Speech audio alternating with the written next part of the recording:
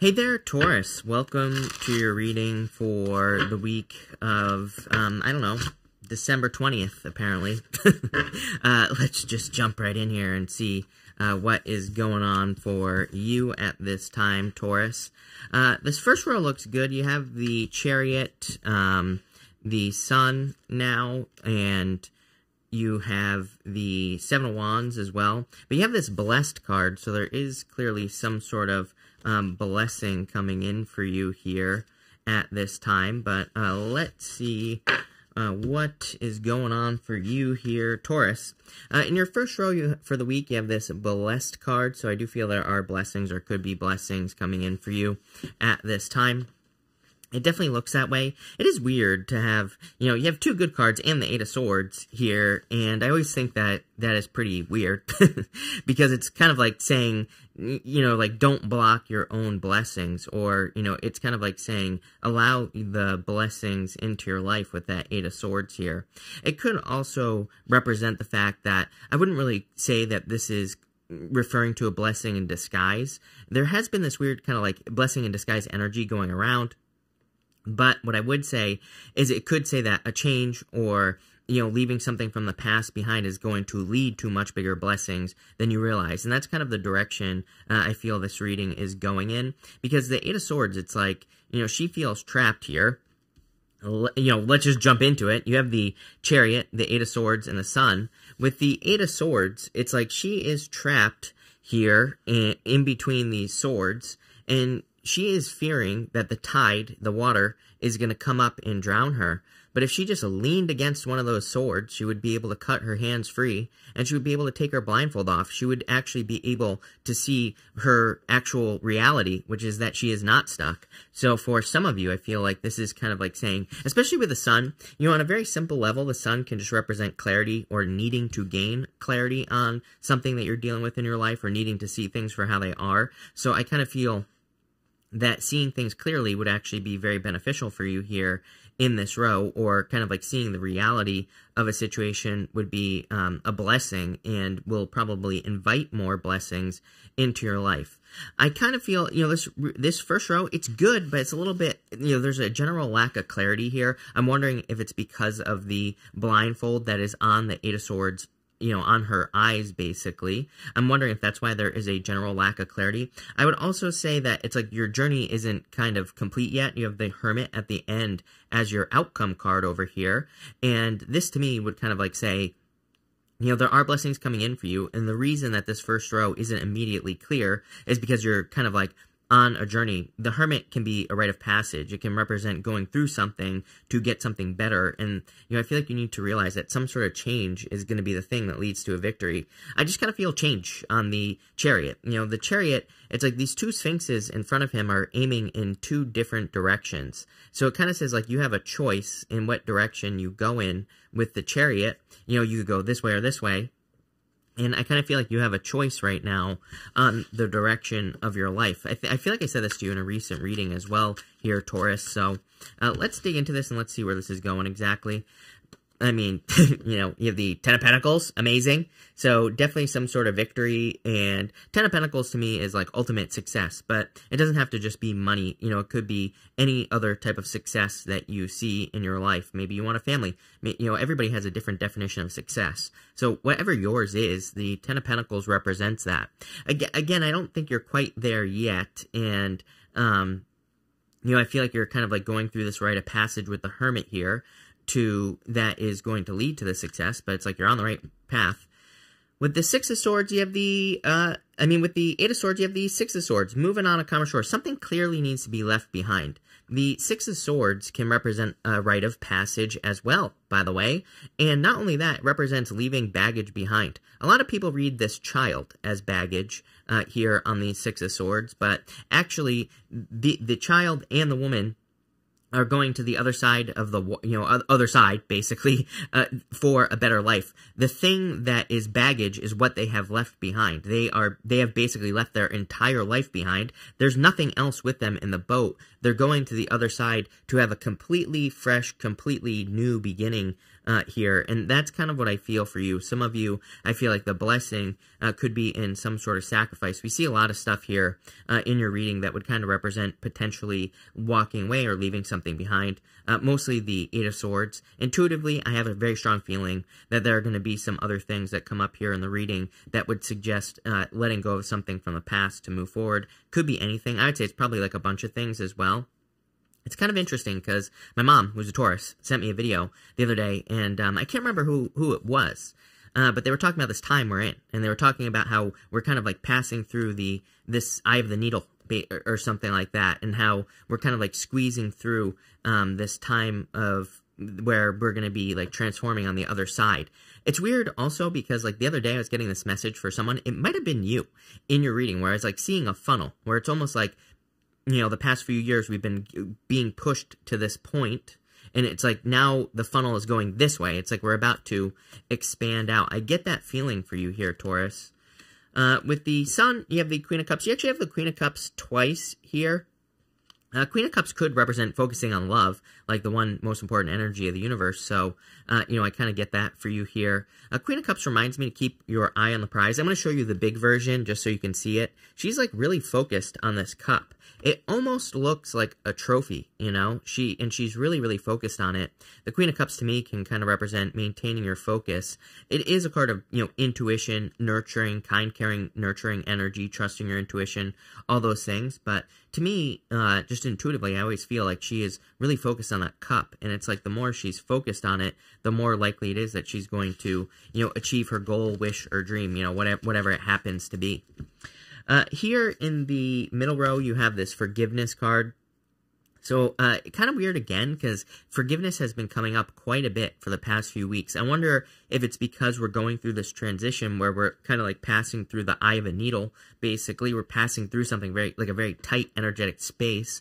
So, it's like, you're not going to fit if you don't let go of things from the past. Um, or if you don't forgive things from the past.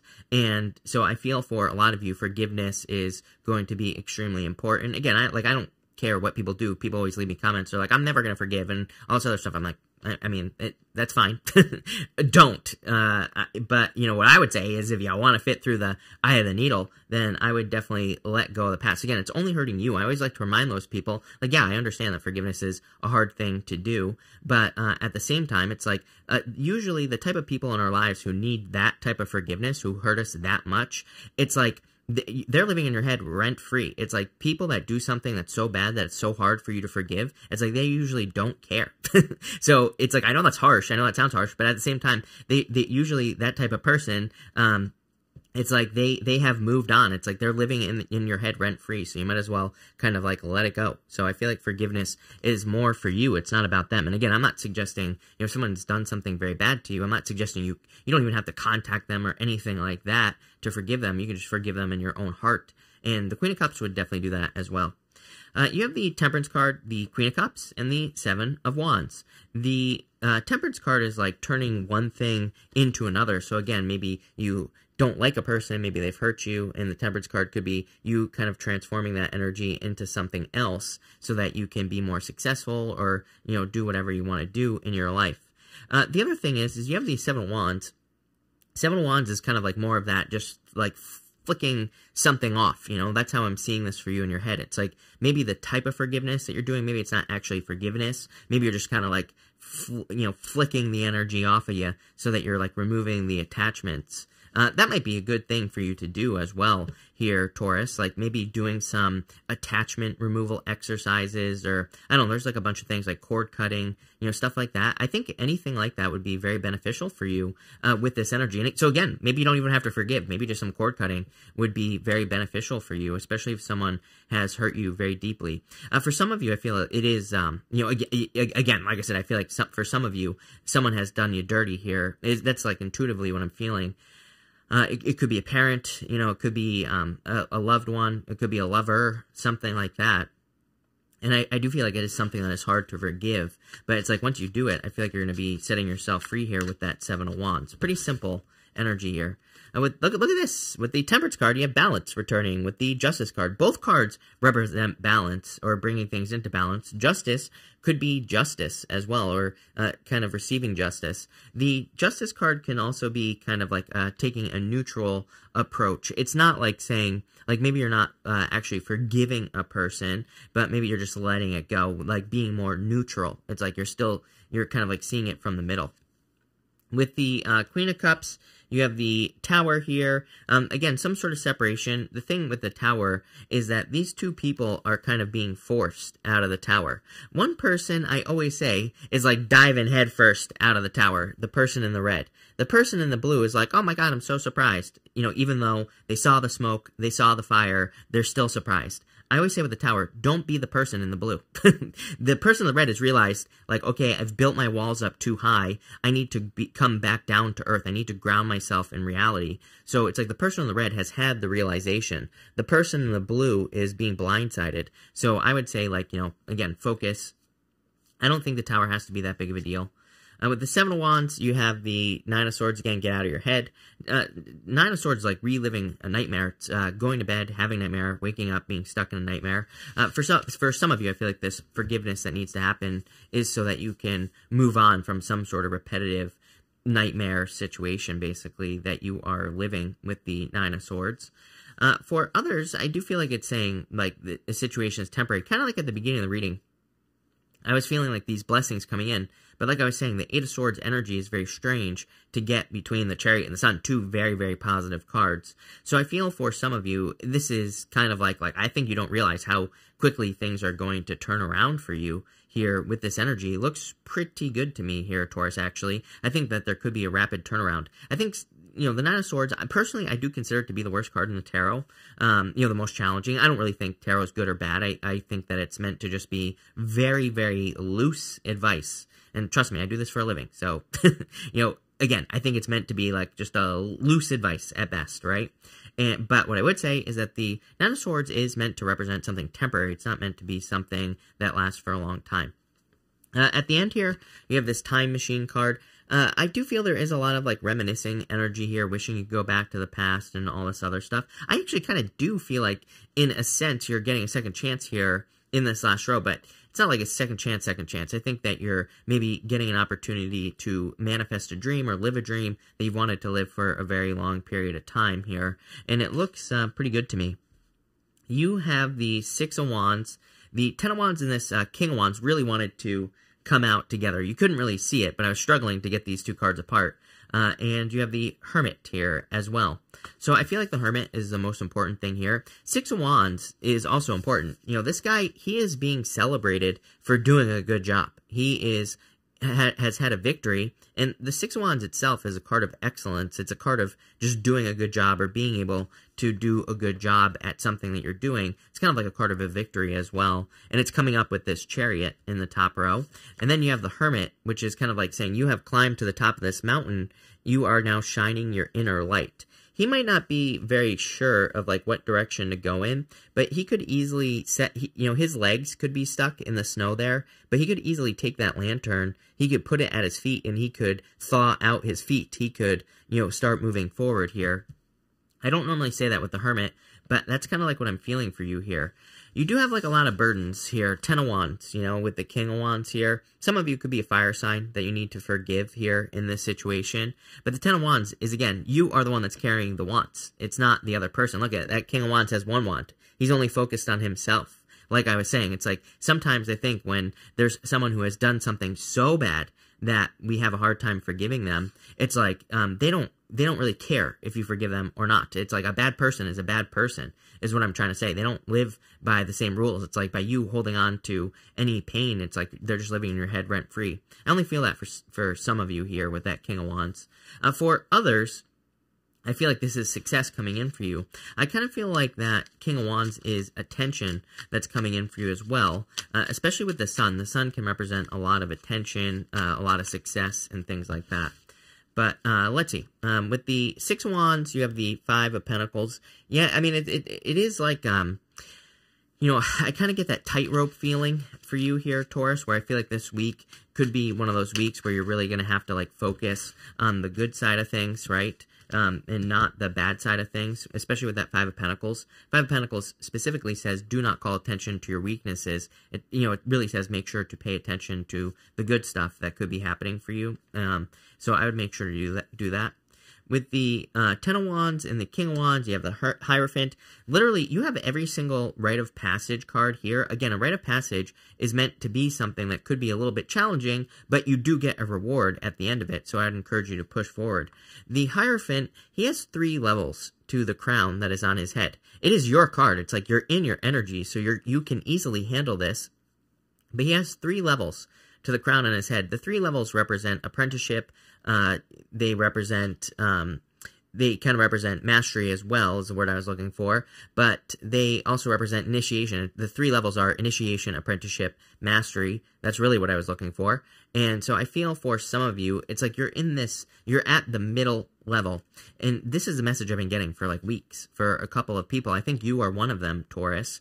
Uh, you know, that, that middle level is a little bit weird. The apprenticeship level where it's like you're learning from the world. You're learning from a literal mentor or something like that uh, through life. And it's like you haven't reached that mastery level yet. It can be this a little bit of this like limbo type feeling or tightrope feeling even where it's like you're kind of like trying to balance things out. We see a lot of balance here.